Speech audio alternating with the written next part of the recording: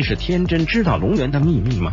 或许答案会让很多人失望。相信不少的武侠迷对帝释天这个人物或多或少有一定的了解，在电视剧《风云二》中，绝对算是超一流高手。即使是步惊云、聂风两人风云隔壁，帝释天未必都不会放在眼里。面对武林神话的无名，更是能轻松将其制服。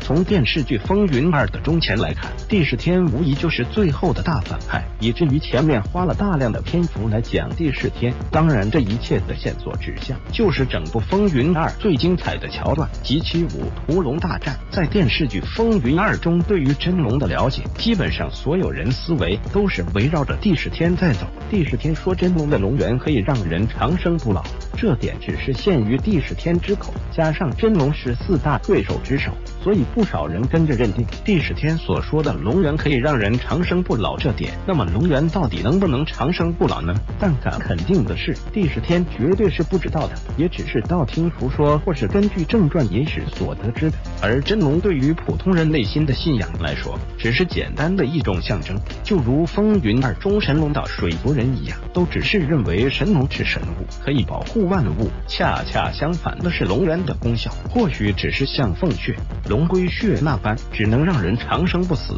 而不是长生不老。活了近两千年的帝释天之所以想摒弃凤血夺取龙源，最本质的原因还是为了长生不老。因为帝释天害怕变老，这也是他常年住在冰洞里面的原因之一。按帝释天所说，真龙每六百年一个出现轮回，那岂不是帝释天三次见到真龙的机会？但是并没有夺得龙源，同时更没有人在帝释天之前夺取到龙源。假如之前有夺取到龙源的，帝释天必然知道，而活了四千多年的笑三笑肯定也是知道的。所以说，帝释天对于龙源能否长生不老这个问题。